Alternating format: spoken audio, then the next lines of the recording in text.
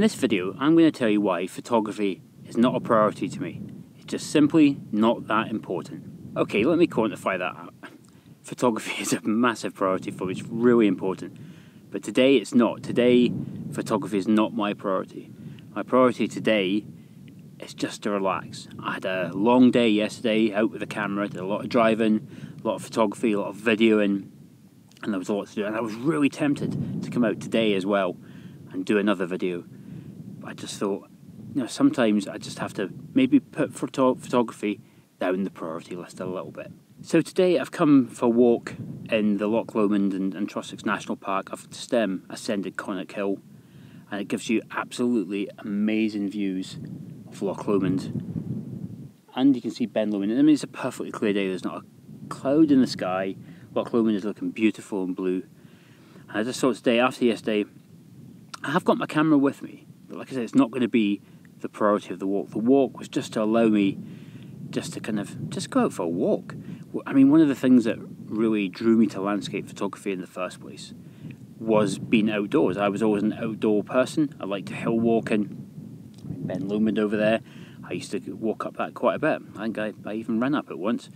And I really like the outdoors. And sometimes, and I found this a couple of times recently, shooting vlogs, um, I really enjoy it. I really enjoy the creative process. I love telling a story. I love the editing. I love putting it all together and then publishing it but it is a lot of work and when you go out you get quite focused on what you've actually got to do so i'm thinking about the next shot the next video what the next clip is what i'm going to do here what b-roll i've got to do and it's quite a focused process and then sometimes when you just leave that all behind um, it's just you, I think you enjoy yourself a bit more. You enjoy being out outdoors, and and the walk up Conic Hill today was a classic example of that. I, I opened my eyes a bit more and noticed more.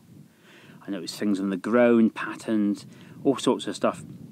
And I think that's really important, particularly if you are a vlogger and, you, and you're doing this a lot.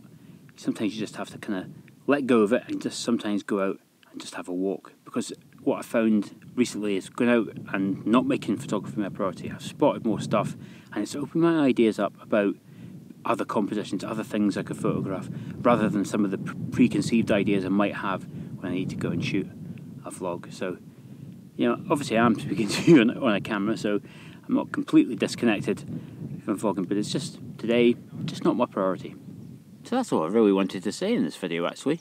Just wanted to say that sometimes being not being a photographer or not making your photography your top priority can ultimately lead you to be a better photographer.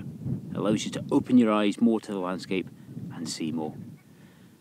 So I'm just gonna sit here for a bit longer, enjoy this rare sunshine and then I'll head back down. But don't worry, I'll share a couple of pictures with you. I'll see you in the next one.